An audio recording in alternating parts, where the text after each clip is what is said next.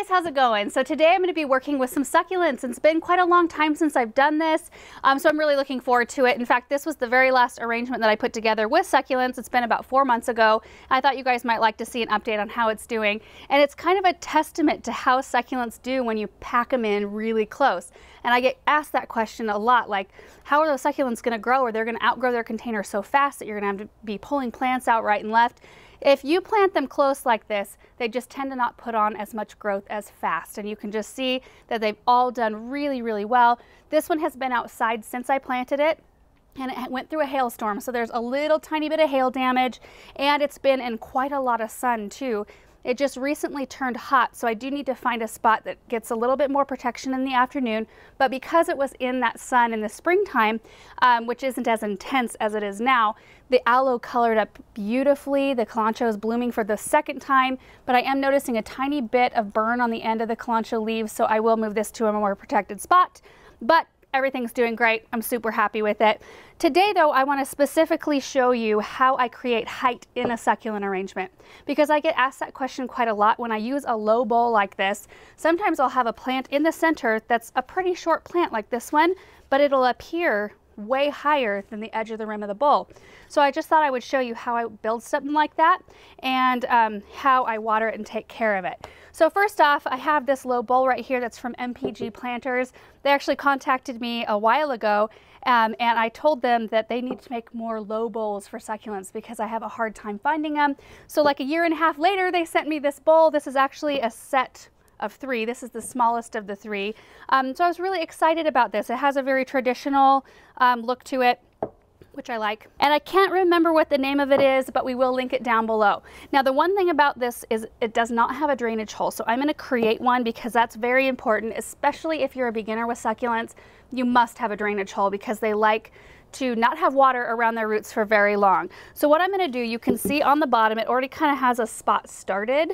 Um, that's where I'm going to put my hole. I've got a drill with a diamond tile drill bit. You could probably use a regular drill bit um, since this is pretty porous and I don't think it's like a very hard material, but to be on the safe side, diamond tile does a really good job. So I'm just going to um, put a hole in this real quick.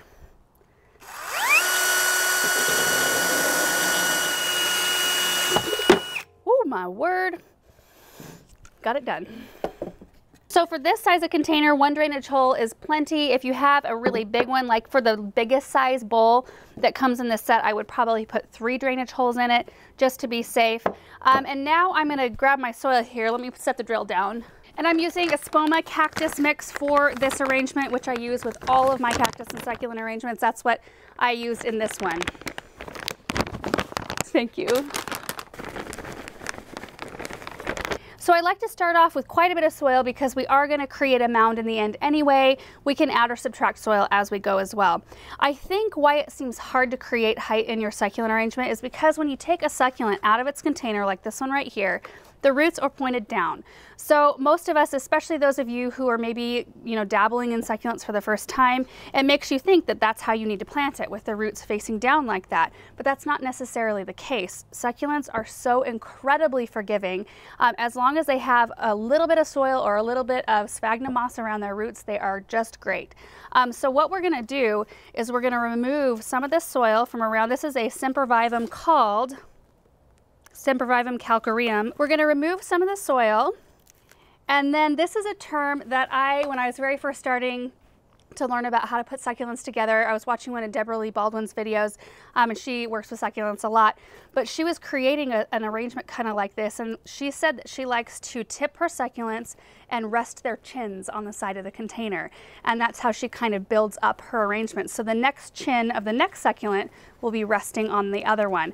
And that kind of stuck with me. So that's kind of what we're gonna do, and we're gonna start building from the, uh, the lower level all the way up to the top of the mound.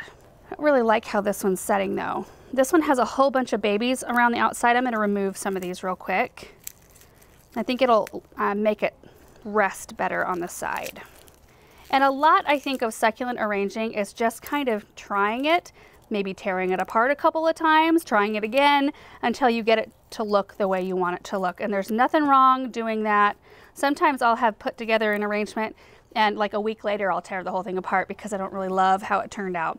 But see how I'm resting the succulent right on the side and I'm pointing it outward? Um, that's what gives you the really pretty interest. And like if you had this in like a table centerpiece sort of setting, whoever's sitting, you know, on either side of this will have a lot of beautiful things to look at as opposed to if it was like this way not as interesting because you can't really see the detail. Okay, so this one right here is a crassula.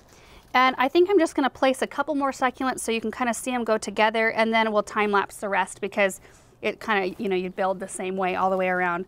So see how you can kind of squeeze them together like this? That's how I created this one right here. You can create a very close-knit relationship between your succulents and they will just do great. And like that, I really like that color on that one. Okay, then I think we'll do this as an Echeveria Neon Breakers. And I always like to go through as well and pick off any damaged or dead looking leaves because how succulents grow is usually from the center. Um, and then the lower leaves or the older leaves will start to uh, dry up and you can pull those off. That's totally normal of succulents. There we go. So I'm gonna do my whole first ring and then when I get ready to place my next set of succulents, we'll stop and I'll show you.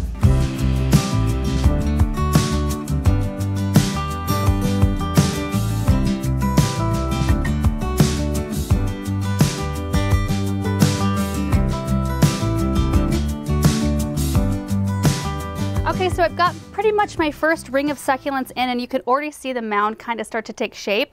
And the way I think you can do that really easily is when you get succulents, oh, I have it right here, like this right here that have a lot of babies, you can take the babies off and tuck them around in little cracks and um, little openings that you may have and it makes them very easy to maneuver. Um, so now I'm gonna start kind of my second ring and I've got a nice big kind of gap right here that I'm gonna use this Echeveria to fill. Um, so I'm going to take the babies off first and then I'll clean it up and remove some of the soil. Then we'll place it. All right, so now since I have removed most of the soil and I'm not left with anything really firm, I'm gonna go ahead and grab a little bit more of my potting mix here, my cactus mix, and build up just a little bit more of a mound. Oh, I think that's perfect right there. And then I just pack soil in around the roots until I like the placement. And see how they just rest on one another like that? It's perfect. Now, so for my next one here, I have a sedum with a nice little root ball. So I'll create a little hole, and this one's got a little height too, so it kind of helps me out a bit. And this type of succulent really fills in gaps nicely. And then I'll take a little more potting soil. Let me turn it around so you can see the root ball. So see the root ball kind of sitting up like that? I'm going to take a little bit more potting soil and just pack it in around that root ball so we're not left with much air. So that's what I'm going to continue doing basically until I'm done with the arrangement. I imagine I will get one small ring of succulents here and then I'll be left with one hole in the center that I'll pop, you know, something with maybe a little height and color in. So I think it may actually be helpful to see a succulent go in from this angle right here. Let me find one that I like for this area. Yeah, put this little agave in there. So this one has some really nice height. So I'm actually creating a little bit of a well for its roots here. We'll see how it fits. And then we backfill that hole a little bit. And let me turn it around and show you. Look how perfect that is. Fits that section beautifully. So I think that this is a Sun Sparkler Sedum right here. It's got some beautiful color. So I'm trying to decide if I add two more small agave or if I add a little bit of color into the center. I think I'm gonna do this and I might be able to fit one more agave in there. Oh yeah, that's pretty. Let me turn it around so you can see what it's shaping up to look like up there. Isn't that so pretty? The colors of all of these are just beautiful. And I think I can fit an agave right in back here. Turn it back around. This is where it gets a little dicey. Got to take it a little slower so that I don't get all the rest of the succulents dirty. Now, clearly, none of these succulents are meant to stay this small forever, um, but when you plant them in close quarters, like I said, it just slows their growth rate down so dramatically that I can tend to usually get about a year out of an arrangement like this before I need to take it apart and do a little bit of repotting. I might have to do some normal grooming, routine maintenance grooming, um, and maybe pop a sedum out here or there, um, but nothing major for about a year, which is pretty amazing. Okay, we got room for one more. I think another sedum, a little bit of more uh, purple. I think I'm just gonna use a bunch of these little babies that I popped off earlier to fill in this last little gap, which means I'll use a little bit of soil to raise it up so that the roots make contact. And that's the most important part. You just wanna make sure that all their root balls have as much soil around them as possible and that they are making contact with soil. Um, that way they have something to root into. Like these little babies right here will definitely root as long as that stem is put into soil.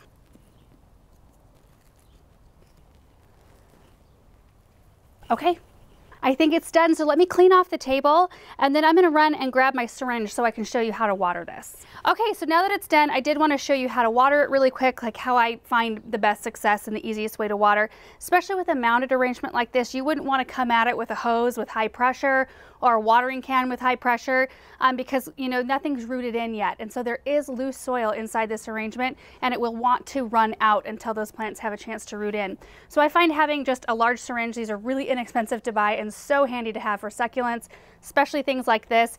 Um, it's just nice because you can direct the water right where you want it to go and you can control the flow. So basically what I do is I just kind of shoot the water in toward the root balls of the plant slowly and I just go all the way around the arrangement and do that. Of course, you know, once they root in, it gets a lot easier to water. And if you've got it outside, you can just water it overhead um, at that point. But for the first little bit, you want to treat them kind of ginger so that you don't have a mess on your hands.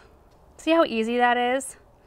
And they need so little water that it's just a really easy arrangement to keep happy. So anyway, that's how you create a succulent arrangement with a little bit of height in the center. And of course you could plant traditionally and plant them all flat with the roots going straight down and just use some higher succulents in the center.